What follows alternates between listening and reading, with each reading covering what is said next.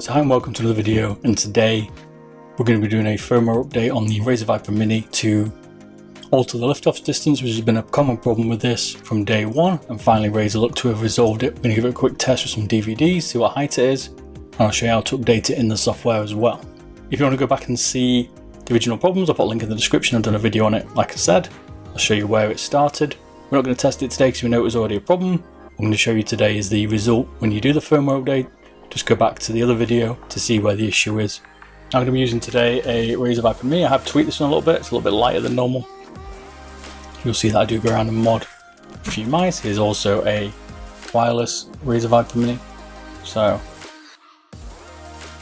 it might look a little bit different to what yours is, but this is still a Viper Mini board inside. You can do exactly the same with yours, so there's nothing different here apart from its weight. So what you're going to need to do, you need to go to Razer's website to need to download the firmware update. I'll link in the description as well for this. Once you have this downloaded, you need to run it. Do not disconnect your mouse at this point in time. I did it with mine plugged in. Razer does tell you to plug it in, but mine was always plugged in. But just do not unplug it once the firmware is going, or you'll brick your mouse here.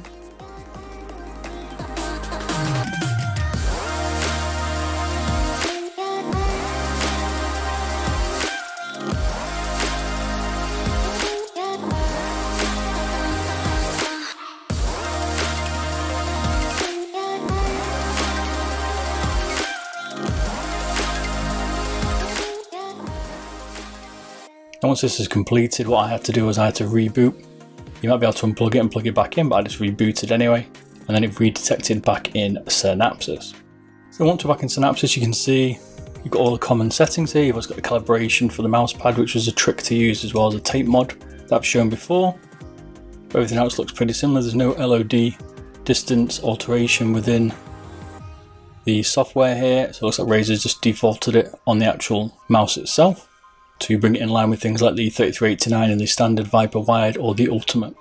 So you can see here is two DVDs, one in front of the other. This is a common test here. This is what you call one DVD height here. This is Rocket Jump Ninja's method, people recognize. So you can see here that the mouse is moving here. You can see it here on the screen. We'll put it onto one DVD. You can see now it's not moving. Whereas I've finally fixed the lift-off distance which has plagued the Viper Mini. Still works on DVDs. So now it's below one DVD in height for LOD, which makes this Viper pretty nice given the price. So I recommend it if you haven't already check out my review on the Viper Mini, I'll put a link in the description, as well as a load of other mods that I've done for it if you're interested like grip tape, things like that. So this video has been useful.